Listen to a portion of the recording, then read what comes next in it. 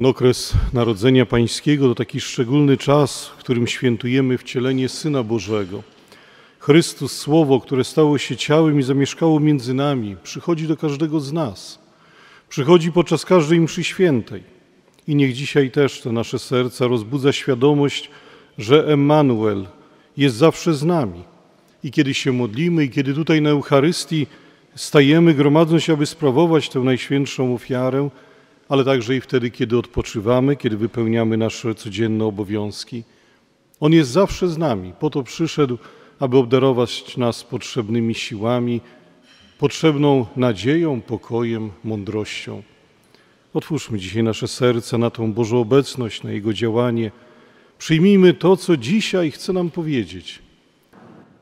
Słowa Ewangelii według świętego Jana. Na początku było Słowo, a Słowo było u Boga i Bogiem było Słowo. Ono było na początku u Boga. Wszystko przez nie się stało, a bez Niego nic się nie stało z tego, co się stało. W Nim było życie, a życie było światłością ludzi, a światłość w ciemności świeci i ciemność jej nie ogarnęła. Była światłość prawdziwa, która oświeca każdego człowieka, gdy na świat przychodzi. Na świecie było Słowo, a świat stał się przez nie, lecz świat go nie poznał. Przyszło do swojej własności, a swoi go nie przyjęli. Wszystkim tym jednak, którzy je przyjęli, dało moc, aby się stali dziećmi Bożymi, tym, którzy wierzą w imię Jego, którzy ani z krwi, ani z rządzy ciała, ani z woli męża, ale z Boga się narodzili. A Słowo stało się ciałem i zamieszkało wśród nas.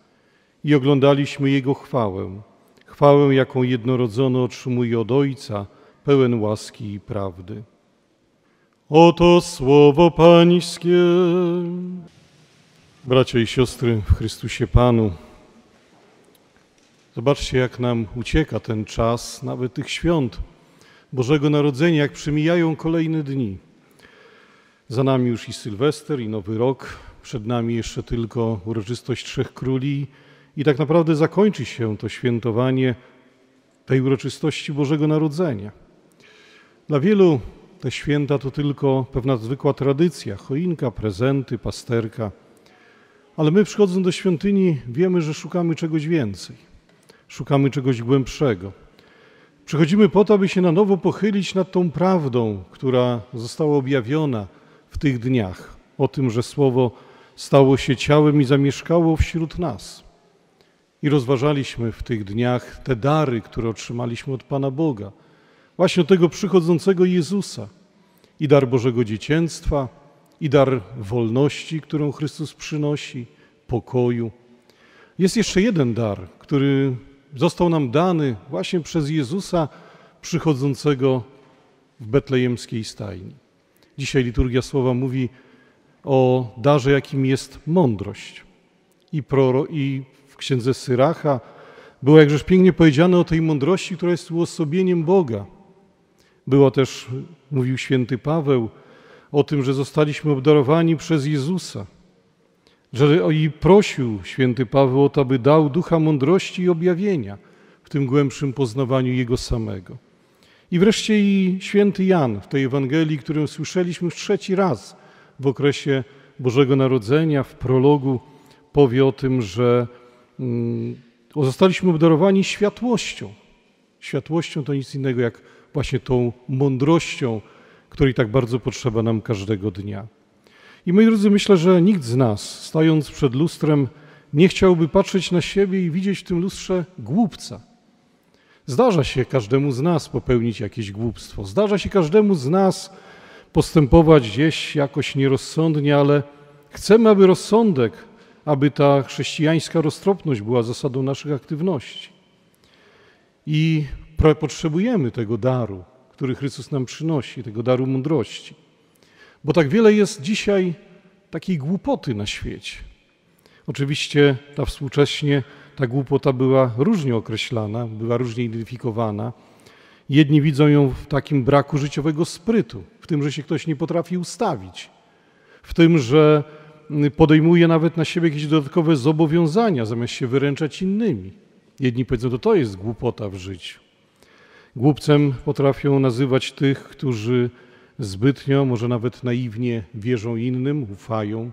Tak świat patrzy na tą głupotę i mądrość, czy jakieś może błędy w poczynaniach. Natomiast święty Paweł Zakwinu mówił kiedyś, że głupota wnosi w serce ciemnota, w zmysł otumanienie.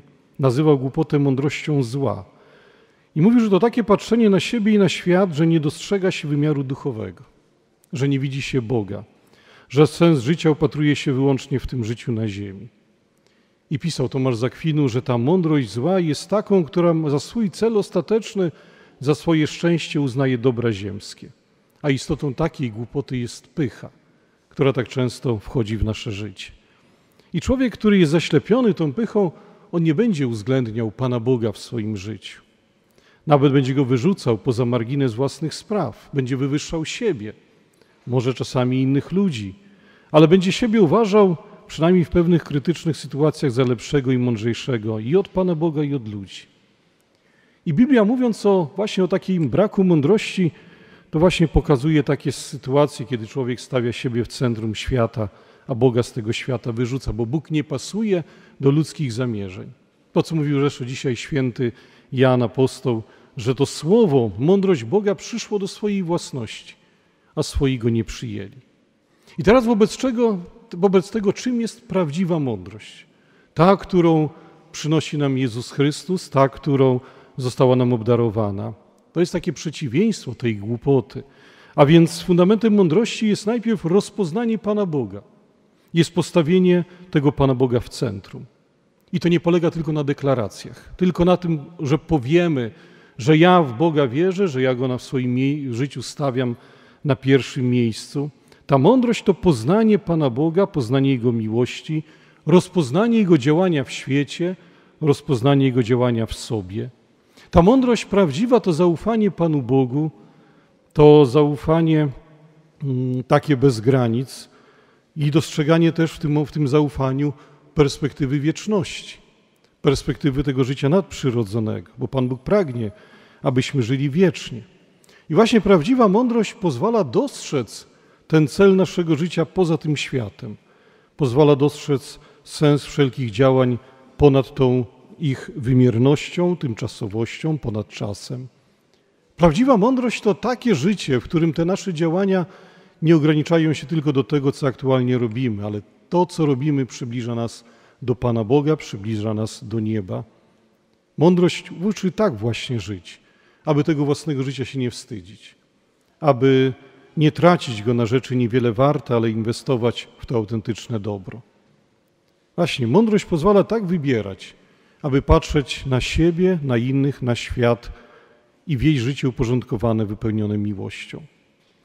I właśnie taką mądrość daje nam Jezus Chrystus, przychodząc w Betlejem, rodząc się jako dziecko.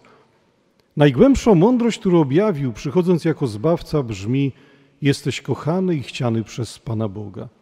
Jesteś stworzony i upragniony przez Niego. Ty dzieło Jego rąk, na zawsze drogocenne. I moi drodzy, naszym zadaniem jest wybierać tą mądrość. Jest za tą mądrością podążać. Jak wybierać tą mądrość? No właśnie, jeżeli istotą głupoty jest odrzucenie Pana Boga, odrzucenie Jego osoby, to wybieranie mądrości to właśnie postawienie Pana Boga na pierwszym miejscu. Najpierw poprzez poznanie Jego, poznanie Jego miłości, poznanie tego, co On nam daje i co dla nas czyni, poznanie też Jego słowa, poznanie tego, co do nas mówi. Właśnie jeżeli poznam Pana Boga, jeżeli odkryję w Jezusie tą miłość, zobaczę, co, to zobaczę, że Bóg pragnie autentycznie mojego dobra i chce, abym był wolny, abym był szczęśliwy, abym osiągnął życie wieczne, że Pan Bóg nie chce, bym cierpiał, niszcząc życie swoje i innych. Jezus całą swoją osobą, całą istotą mówi właśnie, że nie warto żyć pozorami szczęścia. Poznać tą mądrość, poznać Jezusa. To jest pierwszy, pierwsze zadanie, które musimy wypełnić, aby właśnie być człowiekiem mądrym, aby wejść na tą drogę mądrości. Dzisiejsza Ewangelia podpowiada nam też, że musimy prosić Pana Boga, by pozwala nam się stale rozpoznawać, bo On rzeczywiście nieustannie do nas przychodzi. On nieustannie chce obdarzać mądrością. Po to przyszedł na ziemię. To zejście Boga na ziemię nie ograniczyło się tylko do Betlejem. On nieustannie do nas przychodzi. Nieustannie przychodzi chociażby w swoim słowie, które dzisiaj do nas wypowiada. A my znowu, zobaczcie, jak rzadko po to słowo sięgamy, jak, jak mało chcemy go słuchać. Bóg stale przychodzi, Jego łaska, Jego miłość. W różnych okolicznościach życia możemy doświadczyć tej Bożej obecności. Pan Bóg, mamy, musimy modlić się o to, żebyśmy potrafili w tym wszystkim dostrzec właśnie tą mądrość Boga, mądrość, którą nam objawia, którą, z którą z nami się dzieli, rozpoznając Jego i Jego działanie. Warto troszczyć się o to, właśnie aby nie dotyczyły nas te słowa Ewangelii dzisiejszej. Przyszło do swojej własności, a swoi go nie przyjęli. Śpiewaliśmy, moi drodzy, w psalmie Słowo wcielone wśród nas zamieszkało. Święty Paweł powie, jesteśmy synami Boga, jesteśmy wybrani przez Niego w miłości, kochani od założenia świata, przeznaczeni by być świętymi, nieskalanymi przed Jego obliczem. Jesteśmy wyposażeni w te światłe oczy serca, aby rozpoznawać tą mądrość, aby ją dostrzegać. Mało tego, jesteśmy też wyposażeni w to, aby tą mądrością żyć, aby za nią podążać. Tylko wszystko znowu się rozbija o to pytanie, czy my naprawdę chcemy takiej mądrości. Czy pragniemy takiej mądrości, którą Chrystus nam ofiarowuje? Czyli nie wodzi nas ten świat, który proponuje inną mądrość, taką czysto ludzką. Pozwólmy Panu Bogu, aby mógł w nas działać. Pozwólmy, aby przeniknął nas tą mądrością, Bożą mądrością, bo to dopiero doprowadzi nas do pełni szczęścia, do pełni życia, pełni wolności, której tak pragniemy i miłości, za którą tęsknimy. Amen.